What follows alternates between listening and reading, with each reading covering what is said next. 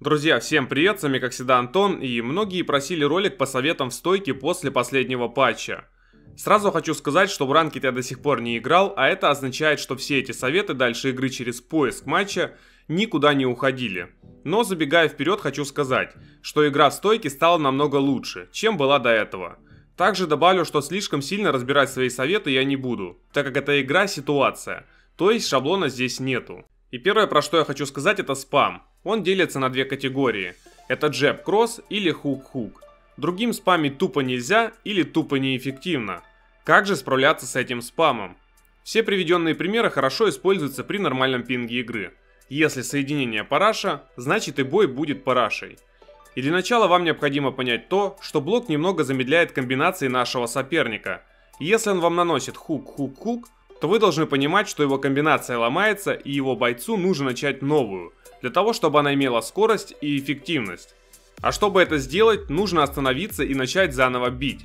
Но спамер этого не понимает и продолжает бить дальше. И вот здесь уже дело за вами. Вы должны понимать, что длинные комбинации это от 3 и более ударов.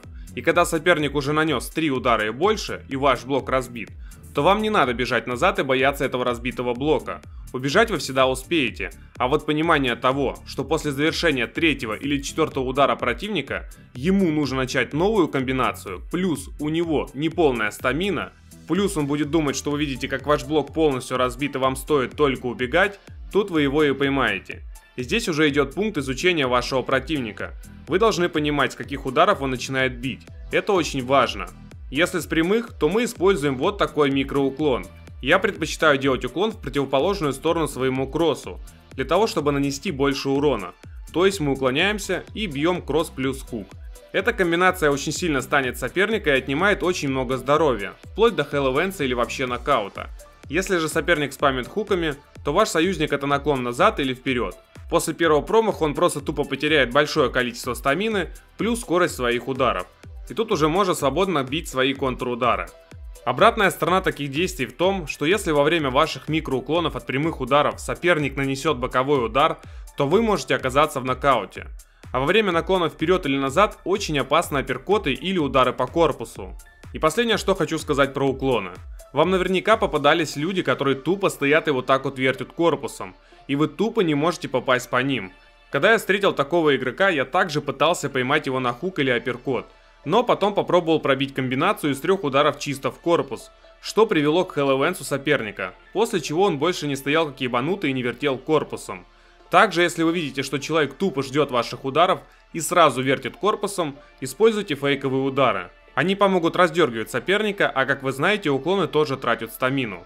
Уклониться от оверхенда, от хайкика или вертушки можно наклоном вперед или назад – но иногда прилетают самонадящиеся удары, особенно если пытаешься уклониться от оверхенда наклоном назад. Про уклоны, я думаю, хватит. Лично я пока больше ничем и не пользуюсь, и этого мне хватает, чтобы избежать спама и самому хорошо контратаковать противника. Переходим к теме ударов. Если раньше я играл только на голову, то теперь я советую работать по этажам. То есть в вашем арсенале должны быть удары как по корпусу, так и по голове. Это очень важно, ведь в самые опасные моменты вашего соперника вы обязаны его удивить. Если разделить это предложение по пунктам, то получается следующее.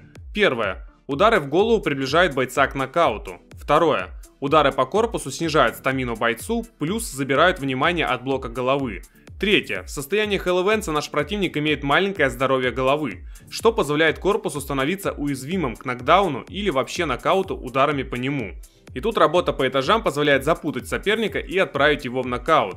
Ведь он будет бояться принимать урон что по голове, что по корпусу, так как до этого мы неплохо так по нему поработали. Поэтому оставляйте какую-нибудь одну вашу комбинацию, а может даже две, которую вы будете наносить только в тот момент, когда вашему сопернику будет плохо. И перед тем, как мы начнем разбирать удары, скажу вам самое главное правило размена – удары на месте бьются быстрее. Поэтому если вы понимаете, что сейчас будет размен, то начинайте свою комбинацию стоя на месте. Лично для себя я разделил удары на две категории. Это атакующий и атакующий плюс сбивающий агрессию. Сразу вам скажу, что я не пользуюсь локтями и коленями, поэтому за эти удары пока говорить не стану. Со стороны атаки я выделяю все удары ногами. Их лучше бить, когда вы напрягаете вашего соперника или держитесь на дистанции. Не держите, а держитесь оба на дистанции. То есть играйте вдвоем вторыми номерами и пытайтесь расстреливать друг друга. Но ни в коем случае не бейте их, когда вы находитесь в близком размене, так как анимация этих ударов очень тяжелая, и те же самые хуки влетают намного быстрее. Джеб, кросс плюс middle kick или high kick хороша для соперника, который пытается отдышаться. То есть, если вы видите, что соперник отходит от вас, то такие комбинации очень хорошо догоняют и наносят урон. Плюс, если вы бьете в корпус, они сжигают стамину.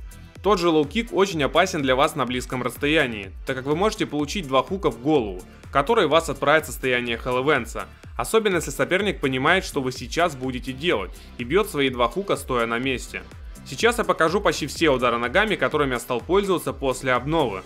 Комментировать я их не стану, так как на это уйдет очень много времени.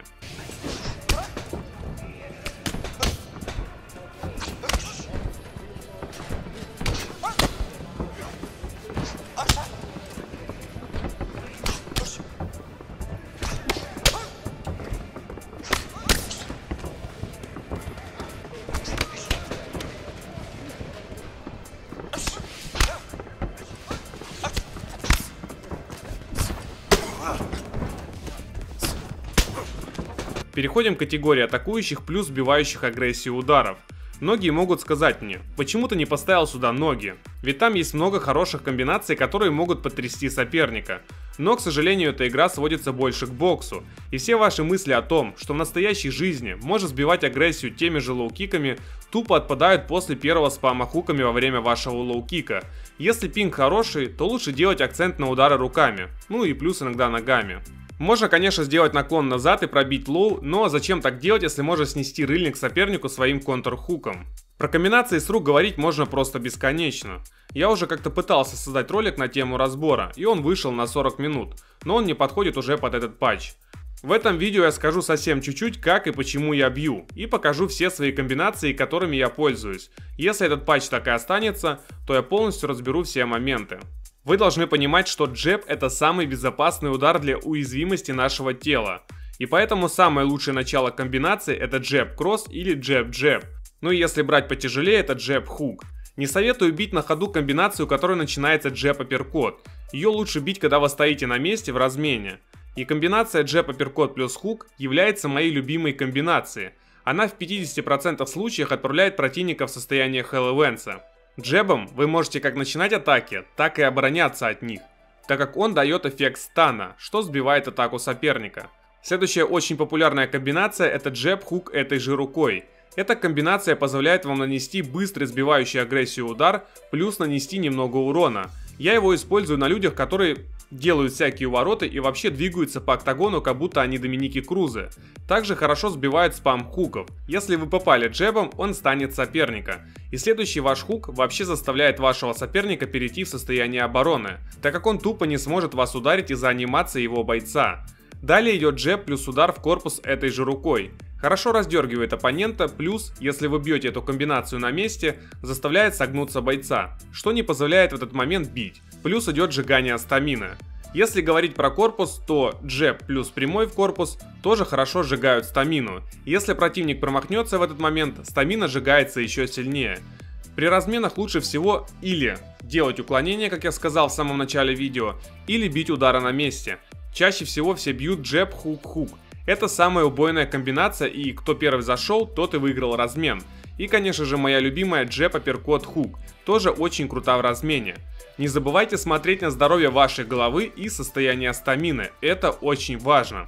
Все эти комбинации из двух ударов плюс микроуклоны, ну или простые уклоны, помогут вам спокойно убивать спамеров. Вам просто нужно учиться чувствовать тайминг и понимать, что нужно бить в разных ситуациях. Я привел малую часть примеров, но она является базой всему остальному так как в этой игре все бьются практически одинаково, и ваша задача поймать противника на ошибке, но и самому не попасться. Поэтому опытные игроки чаще всего бьют комбинации из двух или трех ударов. Они раздергивают, плюс накапливают урон, плюс сжигают стамину. И когда один из бойцов получает Hell там включается мозг. И понимание, как правильно доработать соперника, ну или скажем по-русски удивить, помогает выиграть бой. Подводя итоги, хочу сказать следующее. Запоминаем, что делает соперник. Учим микро и глубокие уклоны.